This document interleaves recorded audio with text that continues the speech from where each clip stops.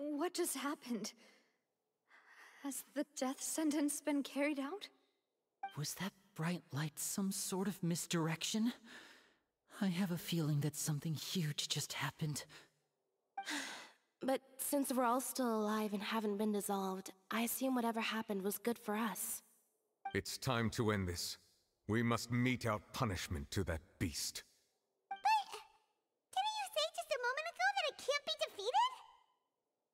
I have gained the strength sufficient to deal with it. Through certain means, I now have the ability to separate the power of the Primordial Sea from that creature. We should seize the opportunity to pursue our quarry. Traveler, now that the oratories can no longer function, I require an executor to help me mete out justice. The root of the calamities befalling Fontaine, the beast that enacts the prophecy. Its name is the all-devouring Narwhal. Come with me, traveler.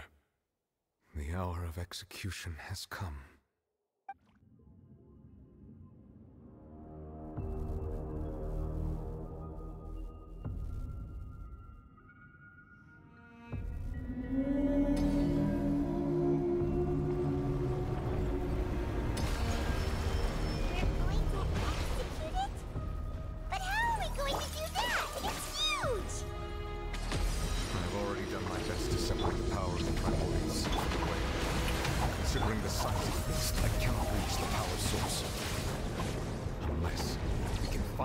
To attack it from within. I shall share in part of the ancient I shall look for an opening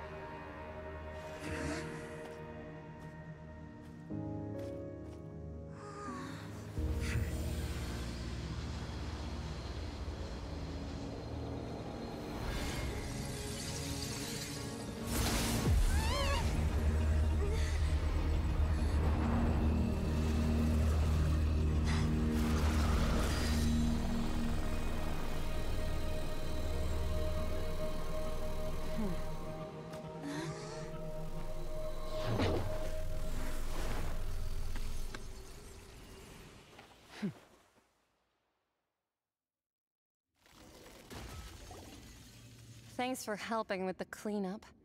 It should have been my job, but... Oh well. It was just supposed to be a short private training session for me. I didn't think that my disciple and my master's pet would start brawling in the meantime. Well, actually, I had a feeling that it would happen at some point, but they bumped into one another earlier than I thought. What a blunder. I suppose I'll have to swing my sword three million times as penance. That power. Who are you exactly? Uh, Paimon has an idea. From what she said earlier, she must be Childe's master. Skirk, right? It's just that he gave us the impression that she was the less talkative person. I simply did not have anything to say to the weak. But you, on the other hand, managed to defeat the all-devouring narwhal without using power from beyond this world. So you may speak to me as equals.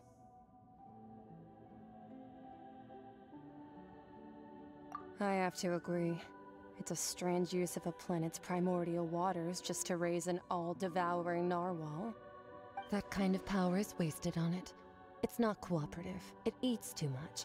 And I have more important things to do with my time than pet sitting. The only thing that creature has going for it is its looks. All in all, it fails as a pet. Uh, Miss Skirk? Uh, I, I think you might have missed the point. The point being, Well, being that this pet almost destroyed an entire nation. So what sort of person is your master? Well, Childe's master's master. Wait, is that right? Oh, right. So you don't know him. Sorry, I assumed you did. His name is Surtalogi. Huh? I am unfamiliar with that name. Huh. So Master isn't sufficiently famous. How should I describe him then? Have you heard of the name The Fowl? The Fowl? Still nothing? Well, how about the Visionary? Vedrfolnir then? Or Gold Rhinedottir? Ooh, that one we've heard. Rhinedottir's part of the Hexenzirkel. She's Albedo's mom, right? Oh, so you do know that name. To be honest, I also heard all of those names and titles from my master. I don't actually know them either. But I suppose you understand now, yes? My master is likely a similar sort to Rhinedottir. They are both pursuing some form of perfection. Wait, didn't you also mention a visionary person? Paimon didn't quite catch their name. Actually, never mind that. I believe it expedient to inform you that the all-devouring narwhal used up nearly all its strength fighting you. Such roiling hydro energies will prove difficult for the planet's deep seas to digest. As such, the Fontaine back on the surface has most likely been thrown into chaos. In other words, the prophecy that you've been fretting over should now be in full swing. What?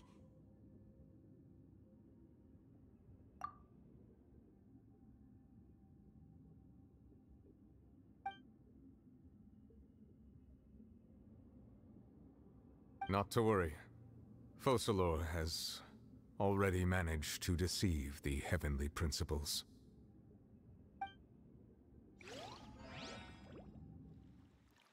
In the end, the people will all be dissolved into the waters, and only Furina will remain, weeping on her throne.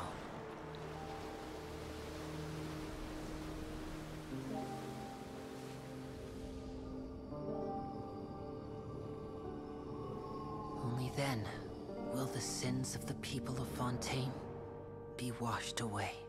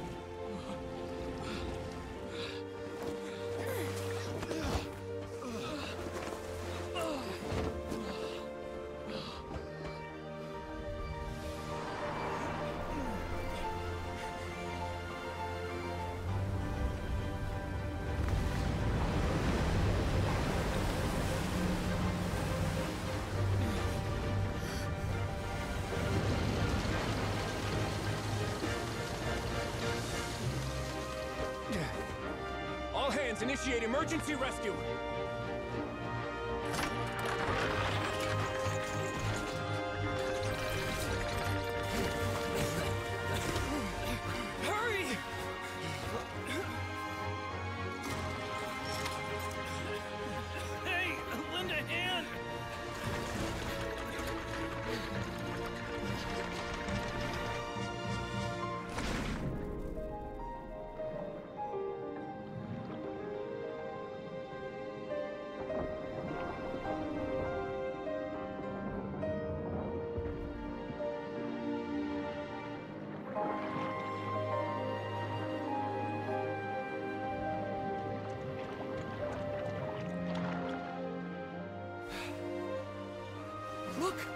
Water's receding!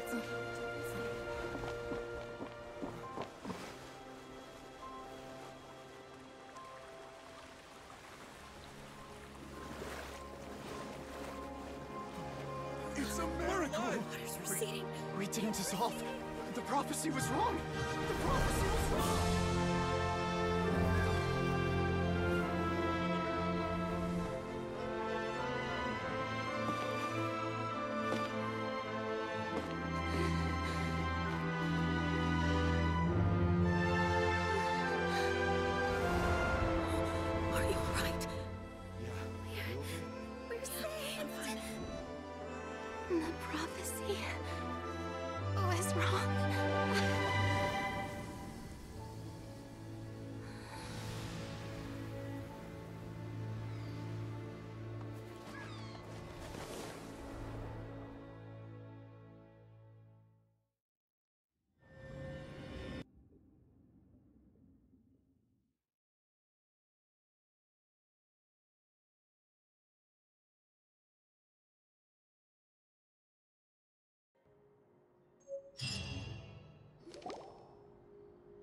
The soil renewed. The Spina di Rosula talks post-disaster rebuilding. I recently visited Poisson to meet with Miss Navia, spokesperson of the Spina di Rosula, and we spoke about Poisson's present and future. Old soil can still give birth to new bloom, Miss Navia stated. Hope is like seeing a small cookie when you're starving late at night. You just need a little of it. Skyship Winglet, bane of the Fontaine Research Institute. The various disputes that have arisen on account of Mr. Edwin have suddenly become a shield over the Institute, with Jurier turning out to be a once overlooked hidden gem. People always call the first researcher mad, but few know what to call the second. And should that latter person achieve a miracle, they would find it all the harder to find a word with which to classify him and his team. Wow! Recognizes the people in the reports. Are those really Jurier and Navia? They sound like real big shots.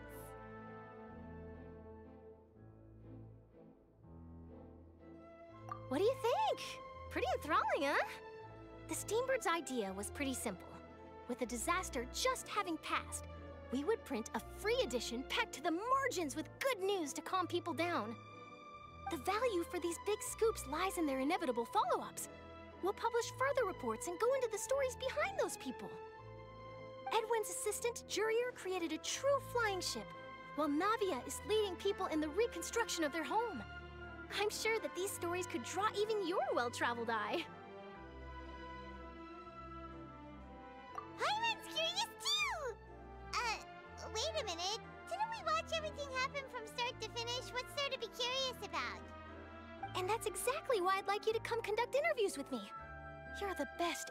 Incubators of news, if you haven't noticed. And also, with you around, I'm sure I'll get to see that Duke. Uh, are you sure? Hasn't he turned you down several times already? Oh, this time will be different. Come on, let's head to Poisson first and then make a trip to the fortress. There are some things you'll only know when you get there. Navia! Oh, it's you. What brings you all here? Hey, we're just having a look around. I'm here to update myself on how things are going here. Hmm? Oh, the Fatui are here too. Ah, uh, let me introduce you. This is Mr. Garunt Snežević. He represented the Knave in sending us a large amount of supplies, and is helping with our work.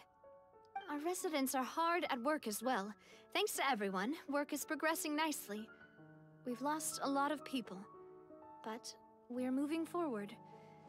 That will have to be enough. Hello, Miss Charlotte. I'm a big fan of yours. I especially like that article you wrote last year about Fontaine's stray cats. But if you don't mind, could you not emphasize our role too much in your report?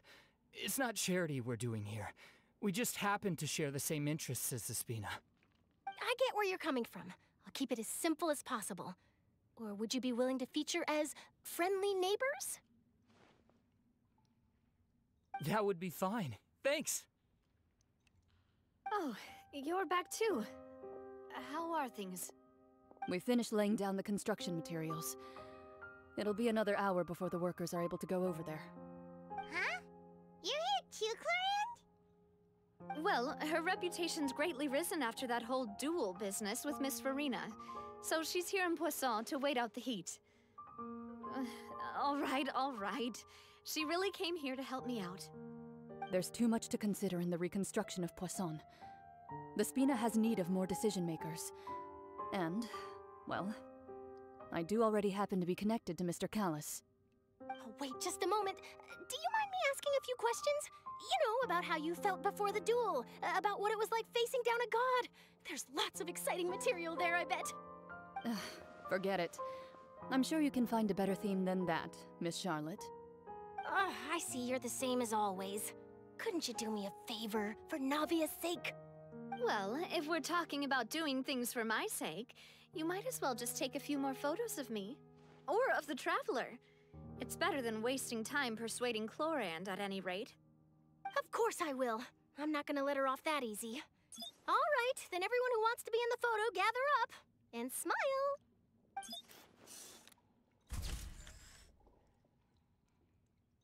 How did it go? Was it a good shot? Did Paimon look cute in it? Not bad. Your addition really helped the composition of the picture. All right, hang on a moment. Let me snap a few more shots.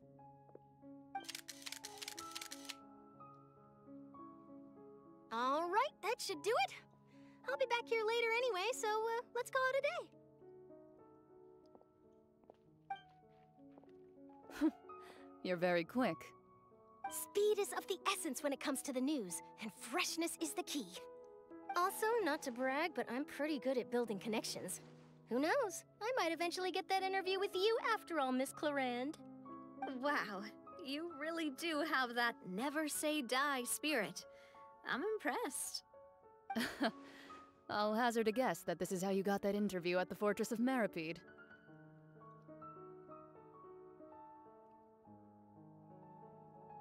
Whoa, you're well informed. Let me make a guess too. I asked Sigewinne who told Monsieur Neuvillette, and he told you, right? That's a very complete information chain.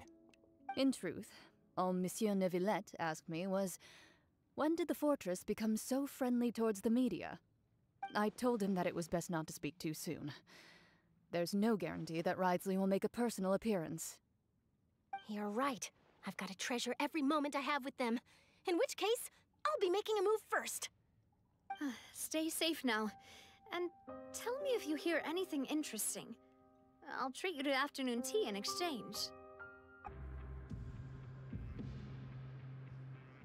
Wow, guess we're here again, huh? There's a real nostalgic feeling to this place. Looks like you've been missing us. Duke! Did you come all the way to the entrance to greet us? Of course. I'm here to welcome you and our dear Miss Charlotte, whom our good head nurse recommended to me. It's an honor to finally meet the much-rumored Duke. Thank you for consenting to my visit to the fortress, sir. No need to thank me. But that said, I shouldn't be the focus of your interview. I trust you recall our agreement? Of course, of course. All right then, this way.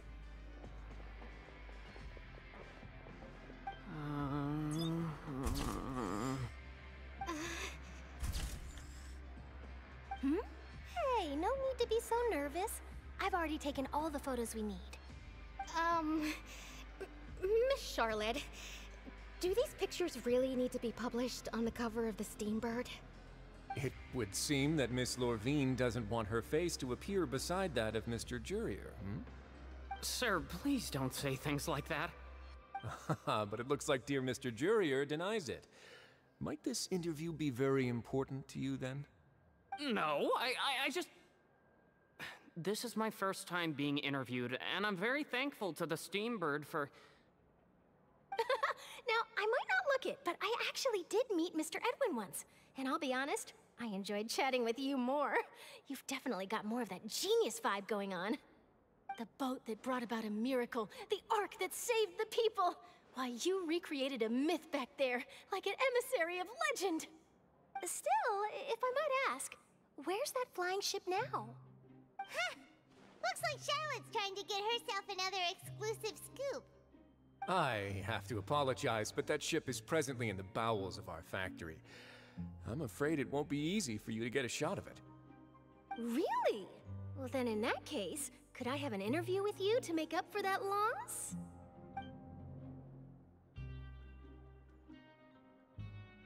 You already know my answer, I'm afraid. Best you interview our head nurse instead. Or perhaps you'd like to take another photo of this couple of researchers? Did you really have to use the word couple? Well, then, two solo photos will do. Is my hair messed up? Please, someone help me have a look. Things sure are getting pretty lively here. Eh, we've seen this kind of thing before.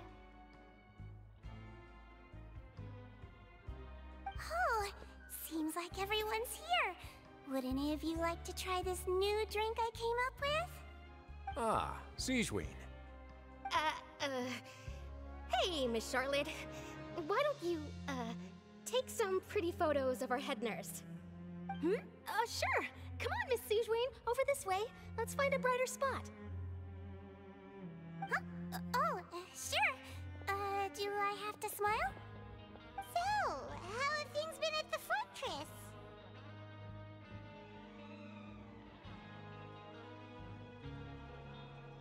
Same old, same old, as you can see. Fontaine's undergone some changes, but this place is still more or less the same. Other than that flying ship, it got a tad too much attention, I think. That's why I decided to let the interview go through. We should direct more public opinions toward the behind-the-scenes heroes. Am I right, Mr. Jurier? Miss Lorvine? You're too kind, sir. I believe that you too should have your day in the sun. Not that you would want that, which is a pity. I'll just leave the spotlight to you two.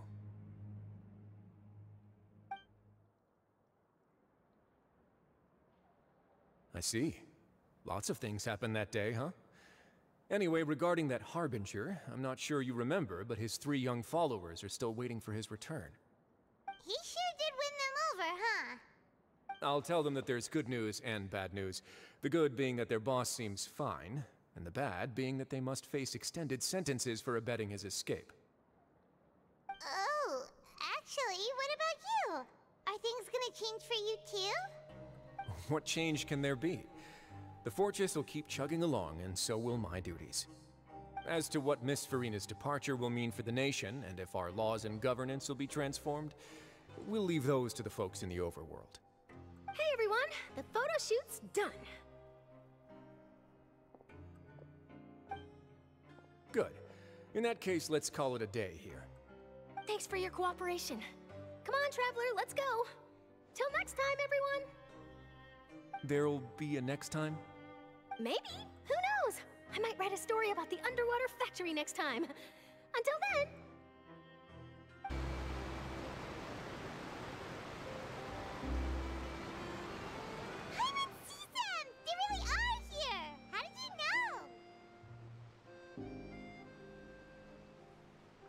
Navia mentioned that she stayed in touch with Lyney and the others after working together. Apparently, they've been at the docks distributing these strange pockets the whole time since. Traveler, Paimon. Ah, and Miss Charlotte, too. Would you like a magic pocket? What sort of gadget is it? It's a wondrous bag that can be used to carry many things. The water level has returned to normal, but if you see any of your things floating around, you can use this to carry them. Or you could trick a friend into doing it for you. Trick a friend? Hmm, I wonder which of my friends would fall for that.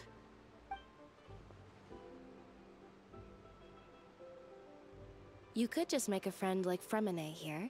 Isn't that right, Freminet? Is this what you meant by I'll help you make some more friends? To be honest, that sounds pretty sweet. Could I have your contact, please? Uh, oh, uh, sure. Uh, please, write down my address. You sure are working hard to help Freminet socialize. He was the one who proposed doing this. He even wants to assist in our magic shows.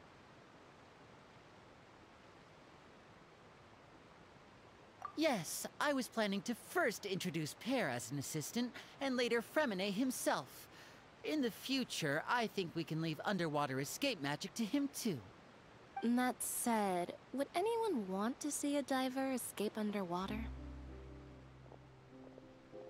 Oh, it'll work out. Every journey begins with the first step. He'll become a part of our show eventually. Uh, Lynette, could you come over? Miss Charlotte says she wants to take a picture of us. Got it. My, that Charlotte is rather perceptive. She got rid of everyone the moment she realized I had something to say to you. Hmm. So, how have things been, Traveler?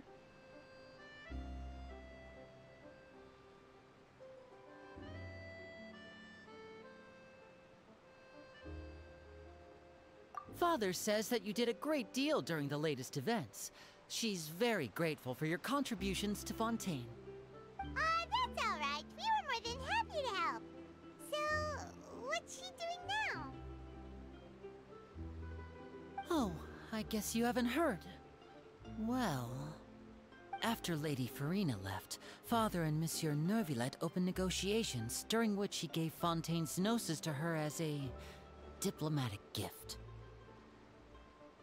A diplomatic gift? A gnosis? Yes, I was quite surprised at first myself. But when I thought it over, there were actually a number of things going for it. It could have been done as an apology for the incident with Lord Childe, or as thanks for his help in tying the all-devouring Narwhal down. Furthermore, Father did also lend significant aid to Fontaine and Poisson, talking about? Doesn't this seem a bit uh, irresponsible? I would agree, but I've also heard that it seems that Monsieur Neuvillette has had a significant change of heart regarding the matter. Uh, so there's some reason for this that only Neuvillette knows about? I suspect you'll have to ask him about that yourself. Ah, yes, speaking of which, I did see him strolling around the entrance to the Fortress of Meropide a while back.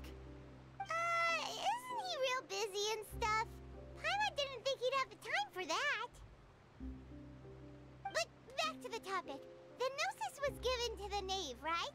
What about Childe? They say that he's returned to Snezhnaya to recover from his wounds. I hear that the recent disaster really did a number on his health.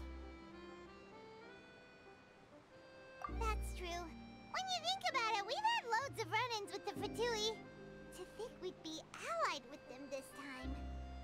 So shocked by such a simple switching of sides?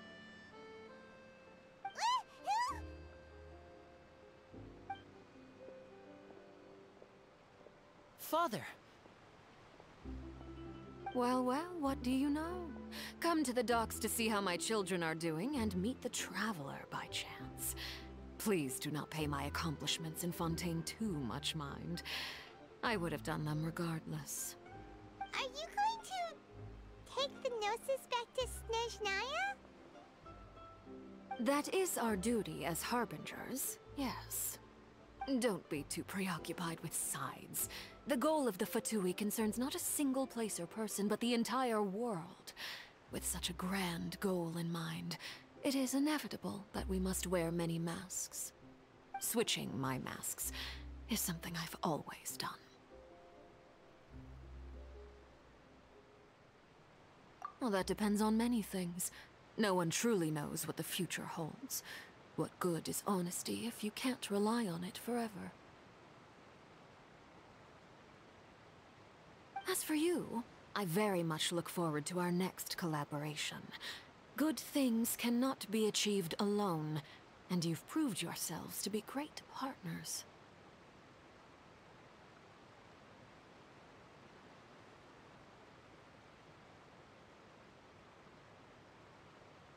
A vision?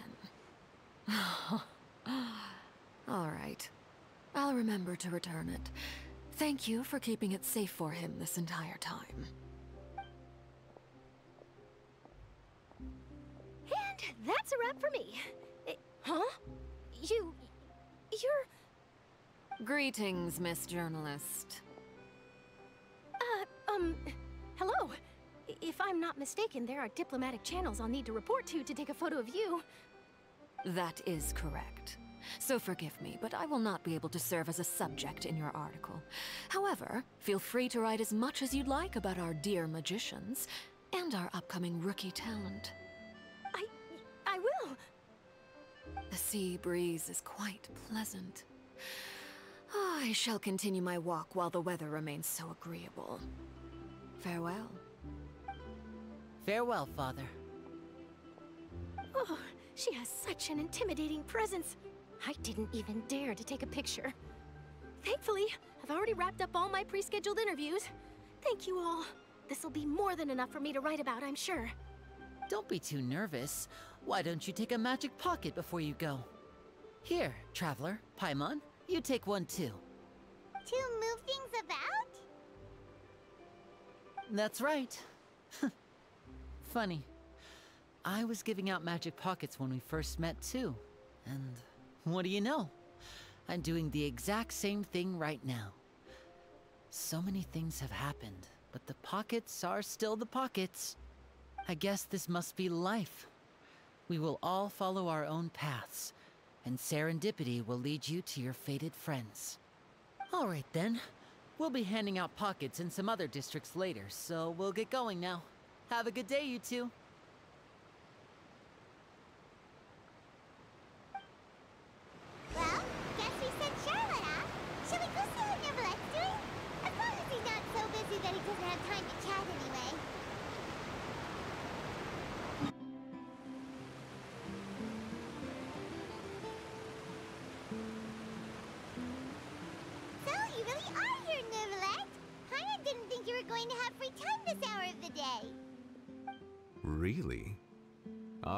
Suppose you must have met Mr. Lyney. He took the time to greet me earlier when he passed this way. In any case, you came at a good time. I was just considering reaching out to you to set up a meeting, so I may explain some things that I haven't had the time to before.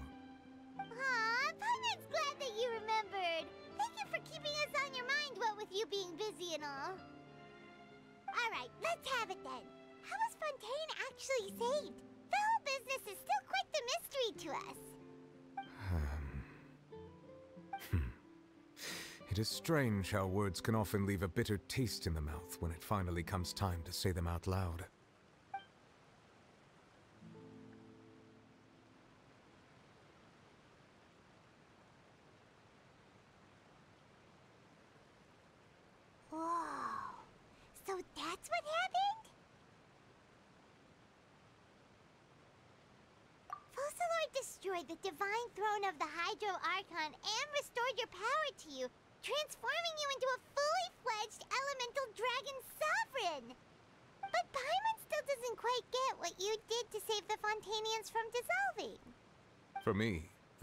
Authority of the ancient dragons refers to absolute control over the hydro element.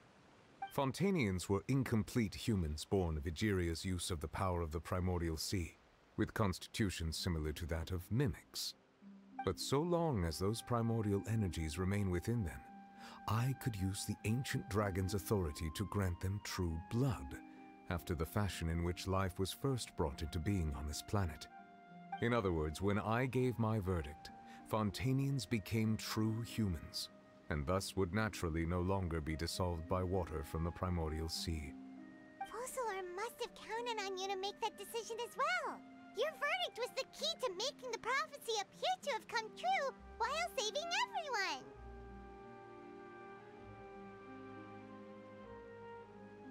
Yeah, and in a manner of speaking, Focalor finally managed to fulfill the original Hydro Archon's wish to turn Oceanids into real people too! Hmm. It seems from your expressions that you still have more things you wish to ask. Ask away. I will tell you the truth as I know it. I have investigated his case along many avenues, and I have learned that he once fell into an unknown chasm when he was young. There, by chance, he awakened the all-devouring narwhal. But whether it be by sentiment or reason, that should not have been enough to consider him the root cause of the disaster. At most, he would have had tangential liability. As for the judgment passed by the Oratrice during the trial, whether it was due to that liability by association or Focalor deliberately using him to buy time for us on the assumption that he would be able to hold the creature off, I cannot say. Guess Focalor had Fontanians in mind the whole time. Finally became real humans. Uh, hang on a second. Paimon suddenly got another question. Back when Fontanians hadn't yet become real humans, were the children they had also transformed Oceanids? Life has always flowed like water. Do you recall how Fontanians would often come to the Fountain of Lucine to pray for children? Yeah, Lynette said the fountain is where all the waters in Fontaine converge. In truth, even those couples did not know that such prayers were no mere custom, but instead a form of ritual. Those Oceanids who were blessed within the spring water would later descend as new humans in the coming months. Uh, Paimon sorta gets it now. Either way, it seems like this ritual won't be of any further use, but it'll probably live on as a local custom. Ask away. I will tell you the truth as I know it.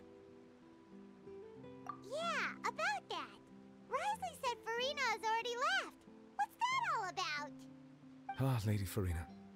The people are only aware that her death sentence has not been carried out. She abdicated the post of Hydro Archon and left affairs related to that title to me, before leaving the Opera House. I related Focalor's words to her faithfully and completely. After hearing them, she seemed neither saddened nor comforted. She simply said that she was tired and needed to rest. Having said that, she then packed her things and moved out of the Opera House, not unlike how an ordinary person might.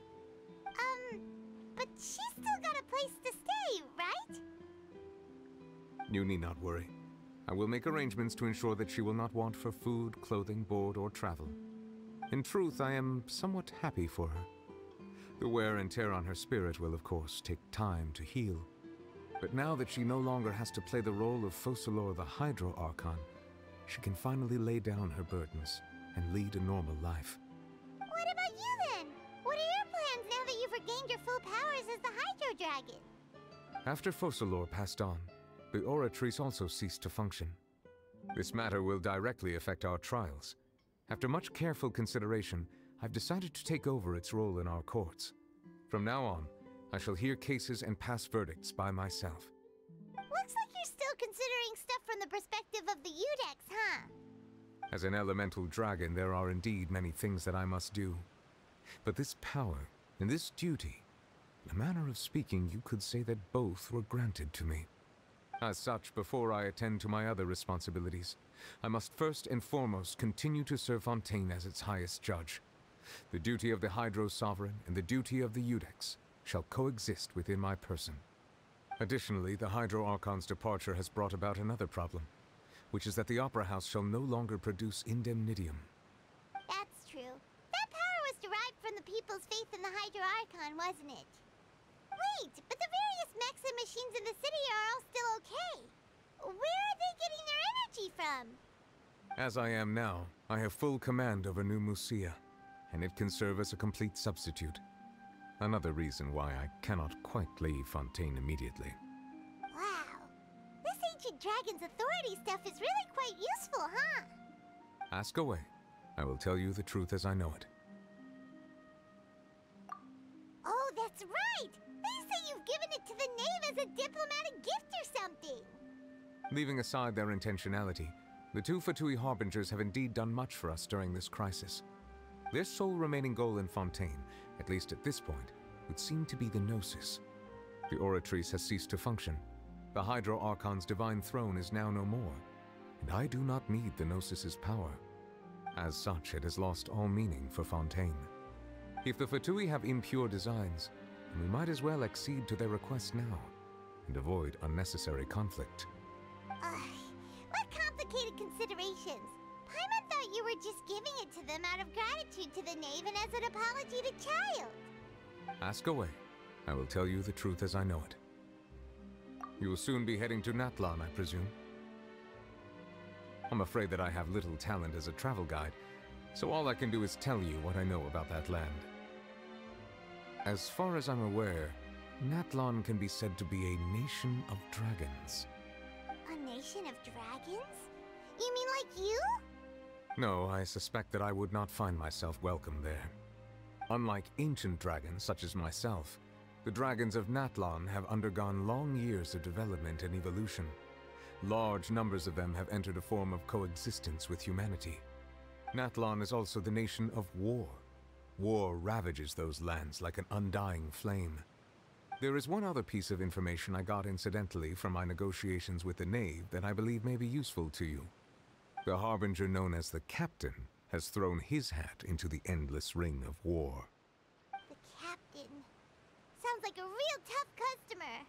Seriously, everywhere you look, there's a Fatui Harbinger doing their thing. I suggest that you fully prepare yourself before going to Natlan. In the meantime, Fontaine's doors will always be open to you. Ask away. I will tell you the truth as I know it. Uh, hang on a sec. Paimon's still got a question about Gnosis. When we spoke to Lyney earlier, he mentioned that your attitude towards giving away the Gnosis had clearly changed. We guessed that there might be some reason for it that only you were aware of. No wonder the House of the Hearth is the Fatui's intelligence division. They are certainly sharp. So regarding this specific issue, I was just getting ready to share something with you. Uh, what is it? In truth, I exchanged some further words with that lady named Skirk after sending you two back to the surface. It went something like this.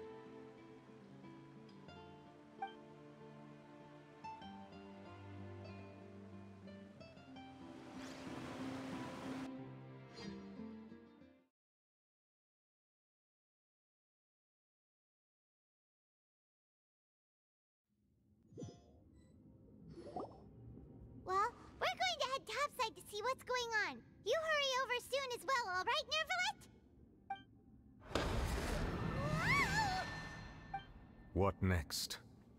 Hmm. The all-devouring narwhal isn't here, so I'm no longer getting any interference. I can finally catch the scent of your power, what it's made of. It is the authority of the planet's primordial dragons, but with something very similar to a god's curse mixed in. It's quite a novel blend. I'm sure I've encountered something like this before. What was it again? I do not know what you speak of. Ah, of course. How could I forget? You should have the remains of the third descender on your person, yes? Remains?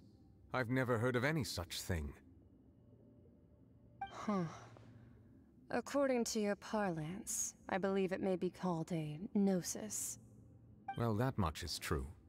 After Focalor's divinity faded, she handed her gnosis to me. But I fear I have never heard of it described in the manner that you just did. I've been training with my master, the Fowl, ever since I was young, and I have never returned to the surface since. So most of the information I possess, I got from him.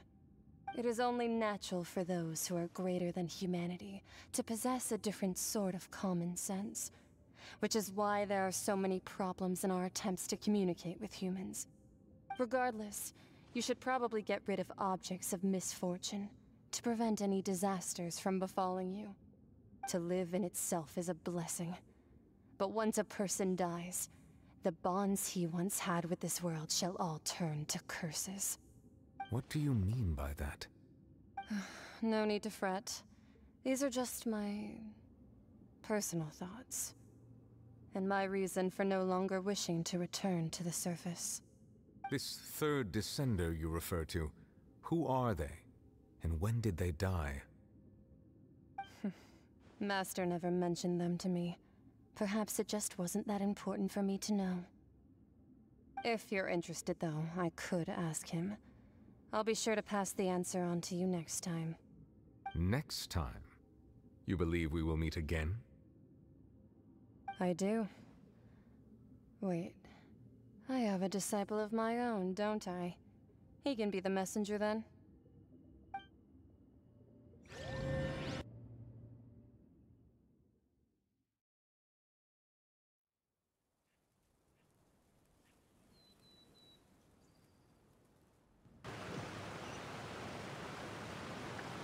That's what she told me. Whether it would prove useful or not, I wanted to pass that information on to you. Remains of the third descender? So that's what the Gnosis actually are. Paimon just thought they looked like chess pieces. How could they be a person's remains? All the same, assuming that there was no misunderstanding or special metaphor at play, that is what she meant to say.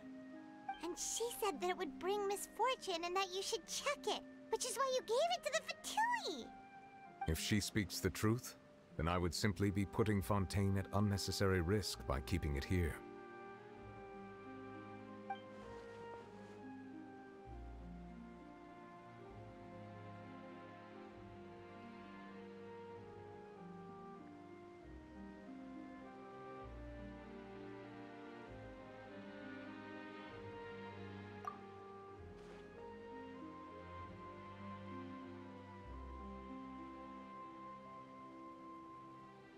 I had guessed that you might already be familiar with this concept, but I did not expect you to be one of them. That means that the Gnosis, which are exceedingly element compatible and can even enhance elemental abilities, do indeed come from the third descender. Hmm, I wonder, does your body also possess similar properties?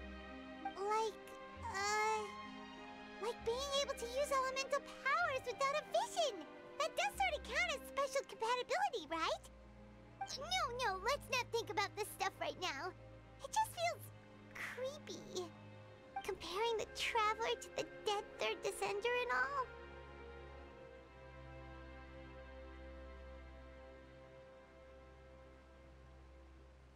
That's what you say, but this topic still feels like bad luck. Once Childe recovers, let's get some more answers out of him. Or go look for his master and get the answers that way. I too believe it unwise to make too many blind guesses when information is lacking.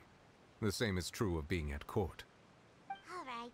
Whatever the case, it seems like the crisis here in Fontaine's over for now. Yes. All of Focalor's efforts were for this moment as well. But she sacrificed herself in the end as a god, and she suffered through all those years as a human. Was that really what she wanted?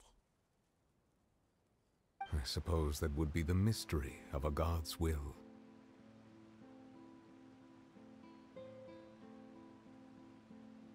I suspect not. But once in a while, I too would guess that if wishes were like the clouds in the sky, they will one day return to the earth as raindrops. Life flows like water, and rain is the final answer. The water levels may sometimes tilt one way or another, but the rain falls fairly upon all. And what ultimately is the difference between the rains that fall upon all of us?